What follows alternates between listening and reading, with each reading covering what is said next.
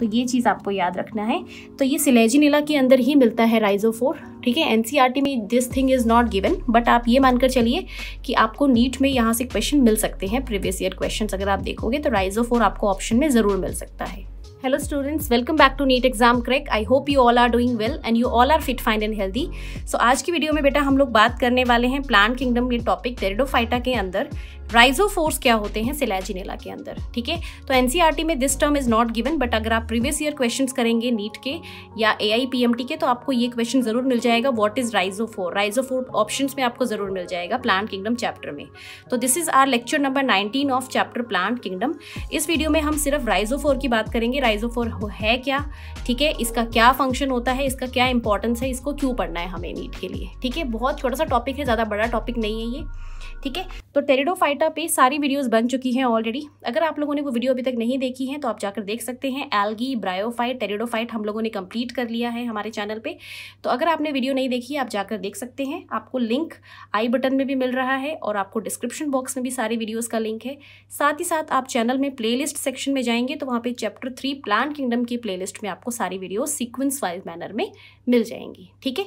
तो चलो फिर आज का टॉपिक स्टार्ट करते हैं। तो सबसे पहले देखिए, जो प्लांट बॉडी है सिलेजिनेला में। प्लांट बॉडी जो है सिलेजिनेला के अंदर, वो किस तरह की होती है? Prostrate.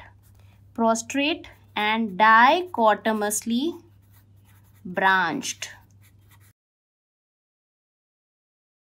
ठीक है, मैं अभी समझाती हूँ इसका मतलब क्या है।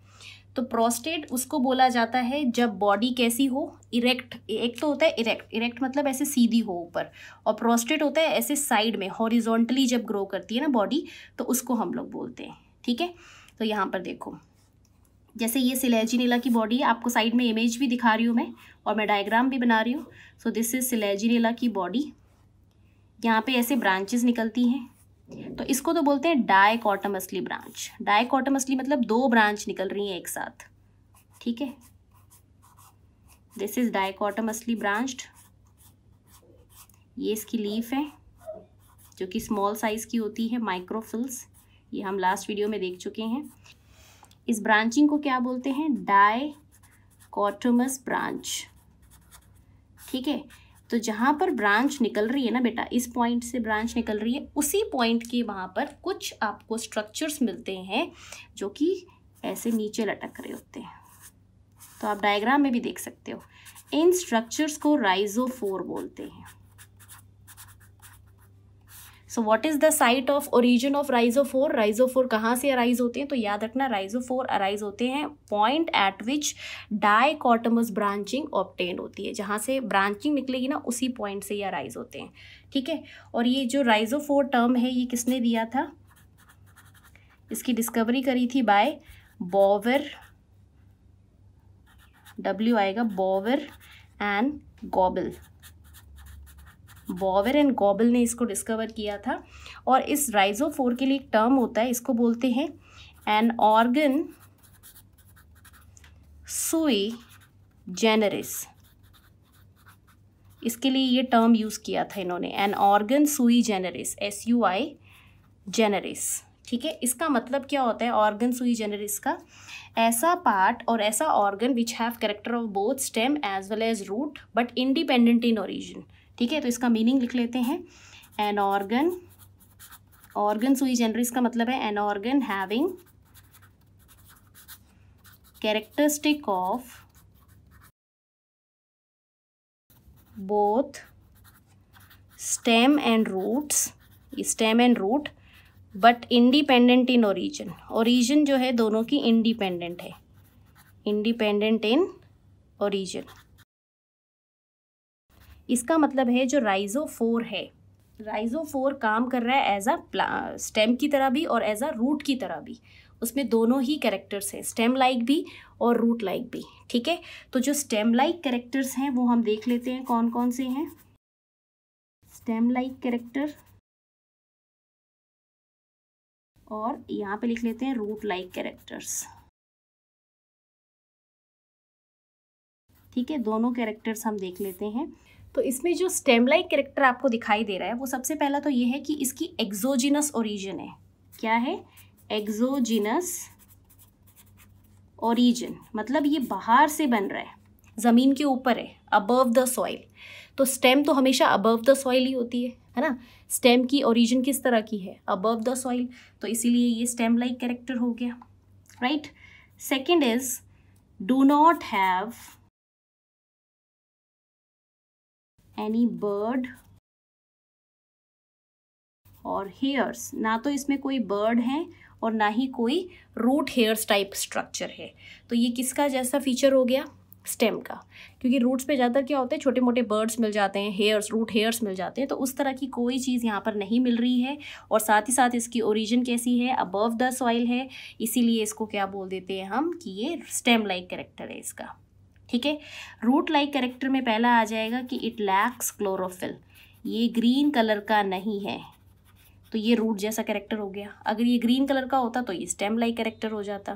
ठीक है? और साथ ही साथ ये निकल सॉइल के ज़रूर ऊपर से रहा है बट ये डाउन दी ग्रेविटी ग्रो कर रहा है। That means it is positively geotropic है ये। कैसा है? पॉजिटिवली जियोट्रॉपिक तो कुछ भी चीज़ अगर पॉजिटिवली जियोट्रॉपिक होती है तो इसका मतलब है grow grows towards gravity gravity की तरफ़ ग्रो कर रही है। और रूट्स का आपको पता है, हमेशा फीचर क्या होता है कि वो ग्रेविटी की तरफ़ ही ग्रो करते हैं। है ना? रूट्स का फीचर ही ये होता है, उनकी ग्रोथ हमेशा ग्रेविटी की तरफ़ होती है। तो ये हो गए स्टेम लाइक कैरेक्टर्स की, एक तो एक्जोजिनस ओरिजिन होगी और साथ ही साथ इसमें कोई हेयर्स नहीं है रूट हेयर्स टाइप बर्ड नहीं है। और रूट लाइक कैरेक्टर ये हो गया कि इनके पास एक तो क्लोरोफिल नहीं है और ये पॉजिटिवली जियोट्रॉपिक है मतलब ये डाउन द ग्रेविटी हमेशा ग्रो करेंगे जस्ट लाइक रूट्स तो यहाँ पर हम राइजोफोर के पास, दोनों के कैरेक्टर देख पा रहे हैं स्टेम की तरह भी काम कर रहे हैं ये और रूट्स की तरह भी। इसीलिए इसको बोलते हैं an organ sui generis that means an organ having characteristic of both stem and roots but independent in origin origin इनकी सेम नहीं है इंडिपेंडेंट इन ओरिजिन ठीक है? तो ये चीज़ आपको याद रखना है। तो ये सिलेजिनिला के अंदर ही मिलता है राइजोफोर ठीक है? एनसीईआरटी में this thing is not given but आप ये मानकर चलिए कि आपको नीट में यहाँ से क्वेश्चन मिल सकते हैं प्रीवियस ईयर क्वेश्चन अगर आप देखोगे तो राइजोफोर आपको ऑप्शन में ज़रूर मिल सकता है, ठीक है? तो इस टॉपिक में सिर्फ़ इतना ही है। प्रोस्टेट का मतलब मैं आपको बता चुकी थी कि जो चीज़ हॉरिजॉन्टली ग्रो करती है उसको हम प्रोस्टेट बोलते हैं और डायकॉटमस मतलब दो ब्रांचिंग में निकलती है तो आप देख सकते हो सिलेजिनेला हॉरिजॉन्टली ग्रो कर रहा है। ऊपर की तरफ़ ग्रो नहीं करता, ये साइड साइड में ग्रो करता है हॉरिजॉन्टली तो ये प्रोस्टेट डायकॉटमसली ब्रांच प्लांट होता है, ठीक है? तो अगर आपको वीडियो अच्छी लगी है बेटा तो वीडियो को लाइक और शेयर ज़रूर करना और मुझे कमेंट करके बताना कि आपको ये टॉपिक अच्छे से समझ आया है कि नहीं, ठीक है? सो प्लांट किंगडम चैप्टर में हम लोगों ने algae bryo and pteridophyte almost complete कर लिया है, ठीक है? ये कुछ एडिशनल टॉपिक्स हैं जो कि बुक्स में नहीं दिए हुए हैं, वो मैं आपको समझा रही हूँ क्योंकि बच्चों को इन टॉपिक्स को समझने में बहुत दिक्कत होती है तो यहाँ पर आपको एक पूरी जनरलाइज्ड इन्फॉर्मेशन यहाँ पे आपको मिल जाएगी, कितना याद रखना है, कितना नहीं याद रखना है, ठीक है? और हम लोगों ने एक नीट की एन सीरीज़ भी स्टार्ट करी है, वो भी आप फॉलो कर सकते हैं एन को बहुत अच्छे से समझने के लिए। जो बच्चे अभी ट्वेंटी में और ट्वेंटी में आए हैं, उन लोगों के लिए वो बहुत ही हेल्पफुल रहेगी। आपको बहुत अच्छे से आइडिया हो जाएगा एन कैसे पढ़नी है और किस तरह से पढ़नी है, कहाँ से क्वेश्चन आते हैं, किस टॉपिक को ज़्यादा ध्यान देना है। ठीक है? तो अगर आपको वीडियो अच्छी लगी है तो वीडियो को लाइक और शेयर ज़रूर करिए और कमेंट करके बताइए कि आपको मेरा चैनल कैसा लग रहा है, आपको वीडियोज़ कैसी लग रही हैं। तो फिर मिलते हैं नेक्स्ट वीडियो में, तब तक पढ़ाई करते रहिए, अपना ख्याल रखिए all the very best and thank you so much for watching stay bless stay happy